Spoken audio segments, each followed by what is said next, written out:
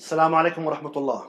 My name is Dr. Nu'man Abu Dhair, and I am one of the instructors for the Mechanical Engineering Department, teaching the ME322, which is the Manufacturing Processes 1. In this course, you will be learning the different fundamental manufacturing processes. These processes, there are casting process, you have machining process, sheet forming process, in addition to the welding process.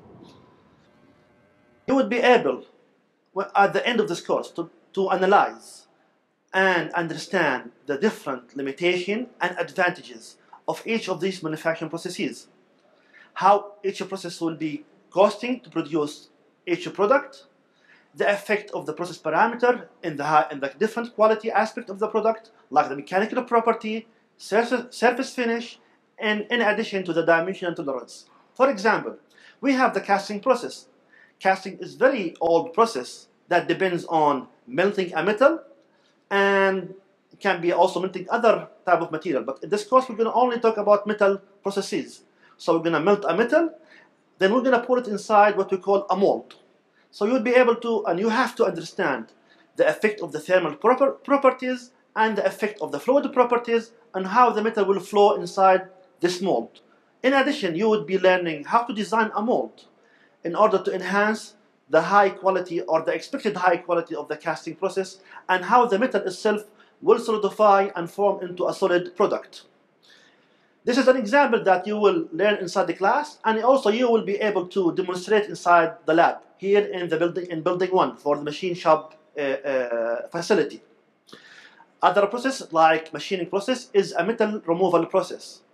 You would be able to know the different process parameters such as speed, feed and depth of cut and the effect of that on the needed forces and power requirements for the process and how these going to affect the dimension tolerance and the different type of uh, expected result in terms of cost and dimension tolerance and surface finish for the product. Other processes also important we're going to learn about, such as bulk deformation. That's, uh, that will include extrusion, that will include forging, drawing, in addition to swaging process. You will learn about it in the, in the class, and also you're going to demonstrate one of them inside the lab.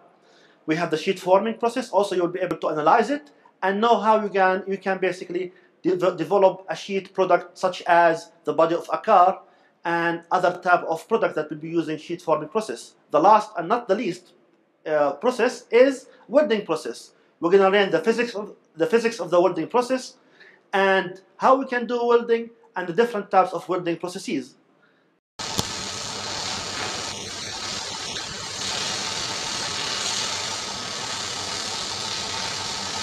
Uh, with that, I would like to welcome you in our class ME322 and in case you have any question, please feel free to come to my office or any other instructor to ask us about this course and what is the expectation from your side. With that, I say Assalamu alaikum and please uh, visit us in our department.